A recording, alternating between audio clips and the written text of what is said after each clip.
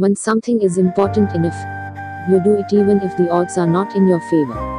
I think it is possible for ordinary people to choose to be extraordinary. Don't confuse schooling with education. I didn't go to Harvard, but the people that work for me did. You want to have a future where you're expecting things to be better, not one where you're expecting things to be worse. Great companies are built on great products. Good ideas are always crazy until they're not.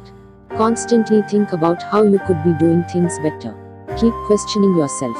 If you're trying to create a company, it's like baking a cake. You have to have all the ingredients in the right proportion. It's okay to have your eggs in one basket as long as you control what happens to that basket. The first step is to establish that something is possible, then probability will occur. Some people don't like change, but you need to embrace change if the alternative is disaster. People work better when they know what the goal is and why. It is important that people look forward to coming to work in the morning and enjoy working.